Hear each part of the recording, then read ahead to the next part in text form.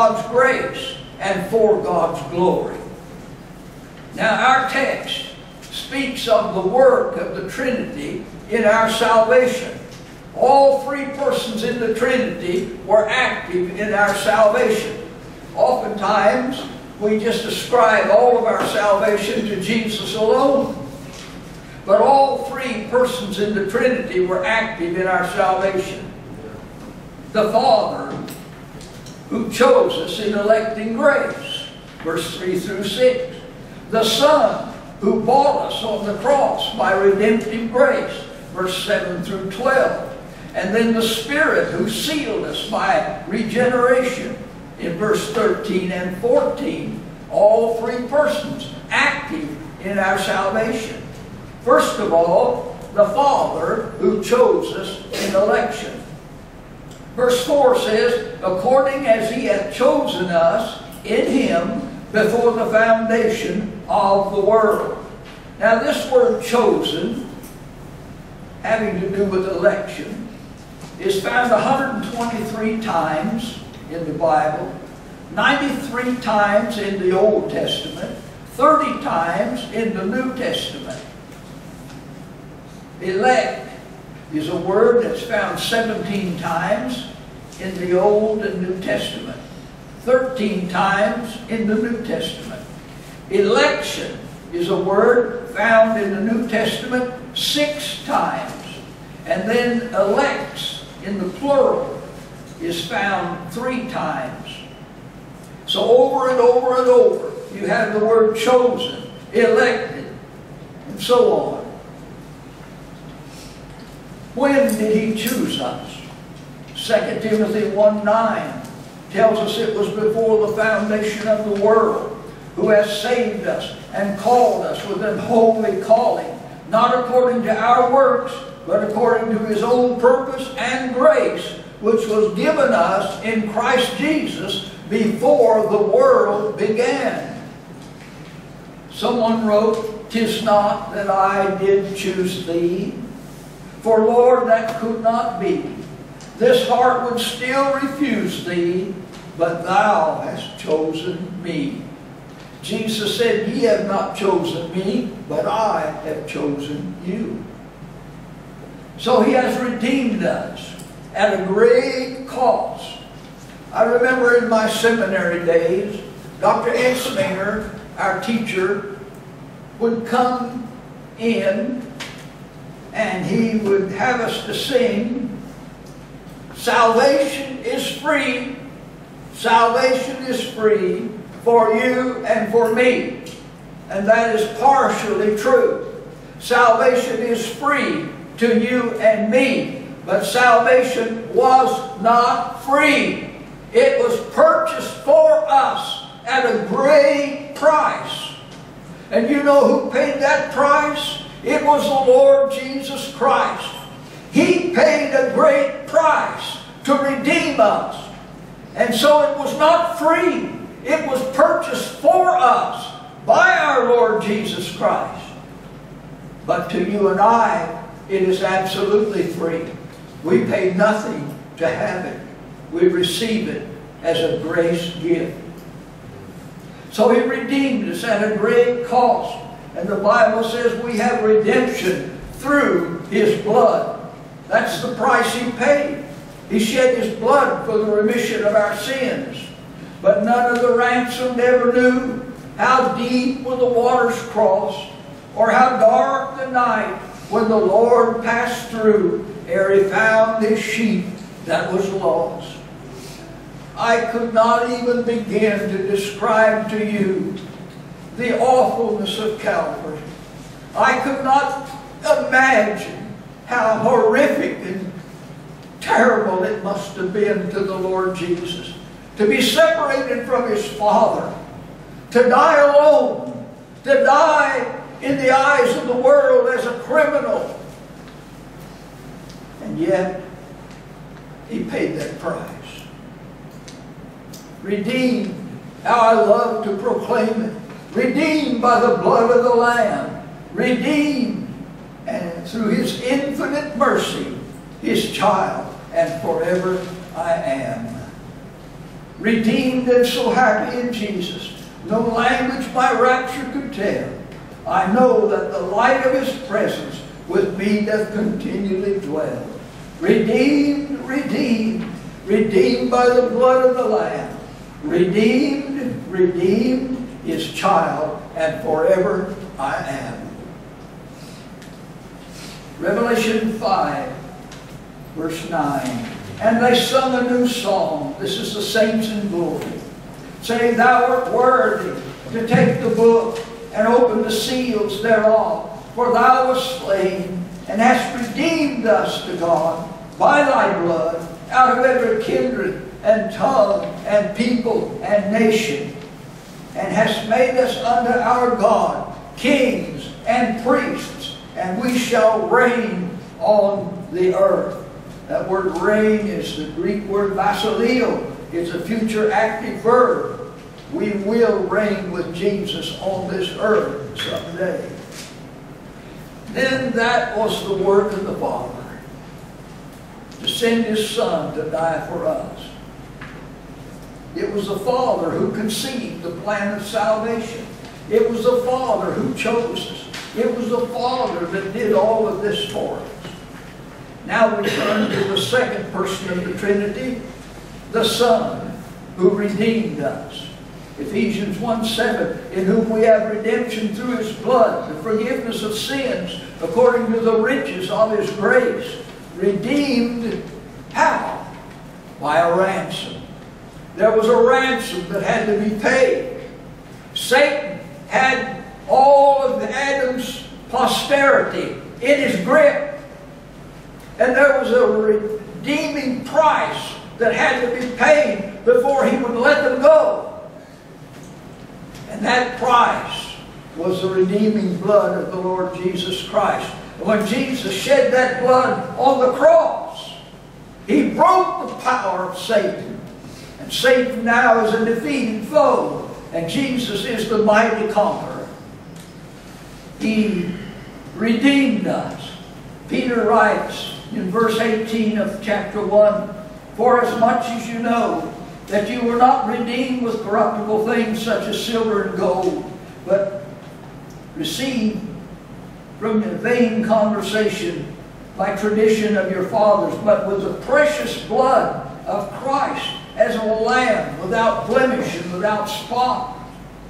Job, conversing with his three pseudo friends, said, Deliver him from going down to the pit, for I have found a ransom.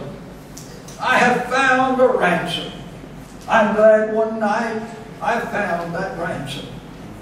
That price that Jesus paid for me. Verse 12 says it's to a great purpose, to the praise of the glory of His grace. But God, who is rich in mercy, for his great love, wherewith he loved us, even when we were dead in trespasses and in sins. For by grace are you saved through faith, and raised us up together and made us sit together in heavenly places in Christ Jesus, that in the ages to come, the unending aeons of time, he might show the exceeding riches of his grace toward us through Christ Jesus. That's the second person of the Trinity, the Son of God who went to the cross and paid the redeeming price. And the third person of the Trinity is the Holy Spirit who performed the miracle of the new birth in our hearts and gave us a new nature and delivered us from the power of the old nature. Ephesians 1.13 that's the third person of the Trinity, the Holy Spirit, in whom ye trust also trusted. After ye heard the word of truth, the gospel of your salvation, in whom also, after ye were after you believed, you were sealed with that Holy Spirit of promise, which is the earnest of our inheritance, that is the down payment, and the until the redemption of the purchased possession under the praise of his glory. The one who seals us for time and eternity is the Holy Spirit. So there you have the three persons of the Trinity. All three active in our salvation. Now there are false views of the salvation. If you meet a Mormon or a Jehovah Witness, they will say to you, the word Trinity is not found in the Bible. And that's true. But that doesn't mean the teaching of the Trinity is not found in the Bible. For it is. All throughout the Bible. From the first verse of Genesis clear to the last verse of Revelation. You have the Trinity taught over and over and over and over. You see, when God created the horse and the cow and the bird and the giraffe and the monkey, when God created all of them, then He created Adam and He said, Adam, I'm going to let you name all these animals.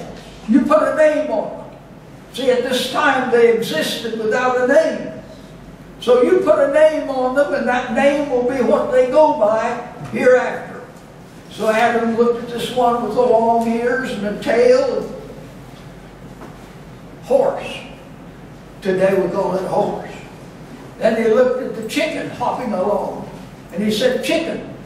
And today we call it a chicken. But the chicken existed, and the horse existed, long before Adam ever put a name or a designation upon them. And the divine Trinity existed before we had a theological name to put on God. He is called Elohim. He is called Jehovah Jireh. And we finally got around theologically to putting the proper names upon God. But God always existed whether we knew what his name was or not. Now our theologians have given us the proper names of God. But they will tell you that there's no Trinity in the Bible. Well, you can tell them, although the word Trinity is not found, the Bible existed before anybody ever thought of the word Trinity. The Trinity, the divine triune God, existed. And we just put the name Trinity on him because Trinity means three. He's a triune God composed of three persons. And they are false teachers. They teach tritheism, which is belief in three gods. We do not believe in three gods. We believe in one God. But there are three persons in the Godhead, and each one is God himself. You say, I, I can't figure that out. I can't reason that out. You don't need to. God has told you how it is. All you need to do is believe it. Like the infidel, he said, my logic won't let me believe that. Well, your logic will send the infidel down to hell. And God won't pay any more attention to him. Then there's the false doctrine of modalism. That is changing the roles. One of the men in the former ages came up with this false heretical idea that the father, when he begins to act, he changes over into the son. And then the son, when he wants to act, he changes over into the spirit. And they taught that the Father, the Son, the Holy Spirit were not three persons, but they were just three modal, modems, three models. And one, like an actor on the stage, he may come out and put on the gown of a clown, go back behind, take that off, put on the, another garment indicating he's a fireman. Go back behind the curtain again, come back around, wear the policeman's uniform. That's heretical. That's heresy.